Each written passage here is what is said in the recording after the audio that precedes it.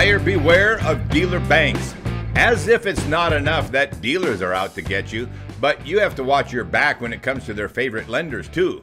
All the more reason to line up your own financing before you go car shopping. Lenders who have had recent settlements or lawsuits against them include Toyota Credit, Santander Consumer USA, and Credit Acceptance Corp. Hi, I'm Kevin Hunter, the Homework Guy, here today with amazing Elizabeth, the Homework Gal. We'll also hit on Cap 1 at the end, so those of you who get those letters in the mail, stick around for that. With repossessions literally exploding in numbers since the beginning of the pandemic and the onset of outrageous car prices, we knew it was just a matter of time before lenders got blasted for predatory lending practices and cashing in on delinquent car loans just a little too fast. And that's exactly what happened to Toyota. It is reported that Toyota Motor Credit Corp will pay $7.6 million to settle allegations in Massachusetts brought by the Office of Attorney General Andrea Campbell that it engaged in unfair lending practices. Interestingly, much of that money, about 5.5 million, will go to wiping out debts owed to Toyota by as many as 500 borrowers in Massachusetts, according to the Attorney General's office. We say that being the case quite often now, don't we, Kevin? Yes, it usually is the case that a big chunk of settlement dollars go right to impacted consumers. Yep.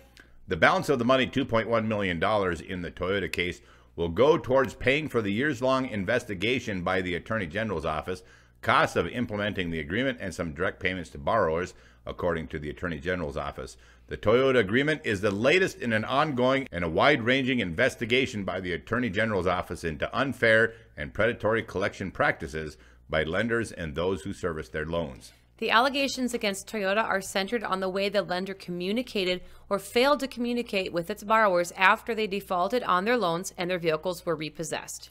One allegation was that Toyota violated consumer protection regulations that prohibit creditors like Toyota from contacting debtors more than twice in a seven day period. Sure. The other allegation involved the adequacy of notice Toyota gave debtors about the status of their loans after repossession. Repossession of a vehicle doesn't necessarily wipe out a debt, and how much is still owed may depend on how the value of the repossessed vehicle is calculated. Does the consumer get credit for market value? or the money the car brings at auction. That's just it. Often among the complicating factors in calculating outstanding debt happens to be whether the repossessed vehicle is valued by fair market value or by the amount it sells for at the auction. Toyota failed to give certain consumers sufficient information about the calculation methods, according to the AG's office.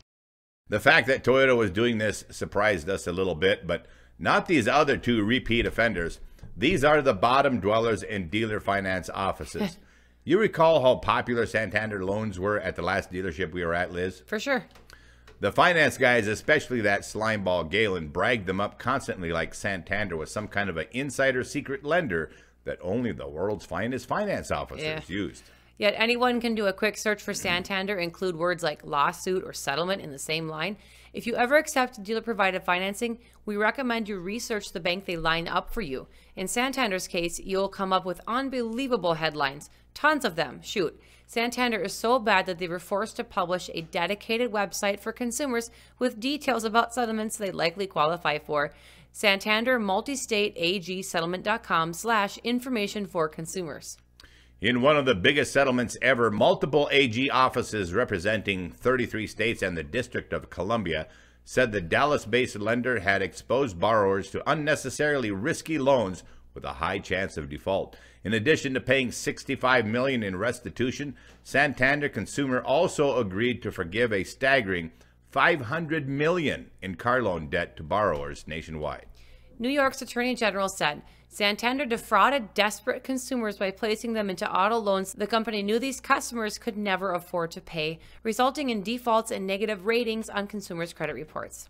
As I pointed out earlier, Santander was often the favorite bank for the finance officers we knew to put car buyers into. You recall that, Liz? I sure do. They'd stand there smiling and rubbing their little greedy hands together when the customer came to finance.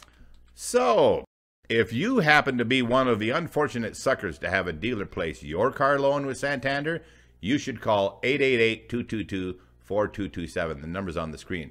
Because your loan may qualify for some form of relief. Call the number if you have any questions about your Santander loan. And even if you don't have any questions, just call the number anyways if you happen to have a Santander loan on your car. Yeah. We'll be back after this brief message from Mary Jo of the Homework Guy team. Hello, I am Mary Jo from the Homework Guy team. Don't Kevin and Elizabeth do a great job? We are so proud of every show our team puts out, carefully researched for accuracy and designed to help car buyers just like you. If you're new here, don't forget to hit the subscribe button below and ring the bell so you get notifications of upcoming shows. Thank you for listening. And by the way, if you haven't already noticed, check out the light pattern on our ceiling. Pretty cool, huh? Next up on the offenders list is Credit Acceptance Corp. The Consumer Financial Protection Bureau and the New York State Office of Attorney General sued a predatory auto lender, Credit Acceptance Corporation, for misrepresenting the cost of credit and tricking its customers into high cost loans on used cars. If things didn't already go bad enough at the dealership, the car buying experience turns into a nightmare for many of credit acceptance borrowers who face unaffordable monthly payments, vehicle repossessions, and debt collection lawsuits. Yeah. The joint complaint alleges that, among other things, credit acceptance hides costs in loan agreements and sets consumers up to fail. The complaint also alleges that credit acceptance violated New York usury limits and other consumer and investor protection laws. The lawsuit seeks to force credit acceptance to stop its illegal practices, reimburse harmed consumers, pay back wrongfully earned gains, and a penalty. The auto loans for the used cars carry exorbitant interest rates, are loaded with expensive add on products, and saddle borrowers with debts that even the lender believes that borrowers can't afford to repay in full, Yeah, I- according to a complaint recently filed. And this, my friends, is exactly why a car dealer would put you into a credit acceptance loan because they allow the dealer to pack your car contract full of nonsense add ons. Right. Most dealers shop your credit to multiple banks like Santander and Credit Acceptance Corp. And not because they're looking for the best rate for you, but rather to find a bank who will allow them to abuse you the most. Totally right. Now, last but not least is Capital One. We suggest that you might think twice about responding to those guaranteed approval letters you get in the mail from Cap One.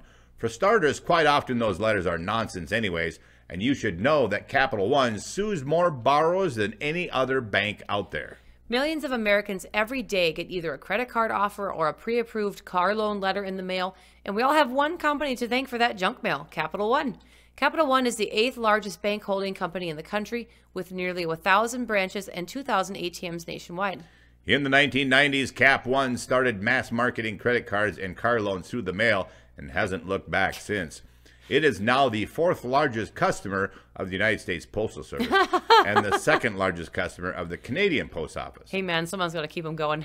Yeah. It's also the largest filer of lawsuits against its own borrowers by a long shot. So, if you don't want to get sued by Cap One, never borrow a dime from them. See? If you'd like to show us some love for producing quality car market updates and honest car lending advice videos like this one, the links appearing on the screen will be easy to find in the description box down below. There's also the super thanks button now below the video, too.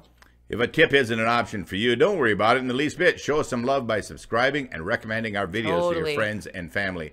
And as a viewer stated, we watch every ad in the show. That helps too, folks. We thank you very much for that. All right. I also want to remind our viewers if you're out walking the car lots right now, make sure you start by seeing Kevin's newest playlist, Car Market Prep Work, to help you mentally prepare to do battle with car dealers. And if you happen to be on Facebook, drop by, leave us a post comment, and give us a like and a follow. And don't forget to visit our website too, thehomeworkguy.com. We have loaded it up with free resources for car buyers like you, and we now offer a blog post too. All right, if you're new here at the Homework Guy channel, as Mary Jo said, don't forget to subscribe and ring that bell. Join our fast growing group of subscribers and become a part of our family. Thanks everyone for coming back, and to all of our faithful subscribers out there, you guys rock. God bless you all. I'm Kevin Hunter, the Homework Guy, signing off with amazing Elizabeth, the Homework Gal. The Homework Guy team is serving truth and justice in the car business. We gotta go.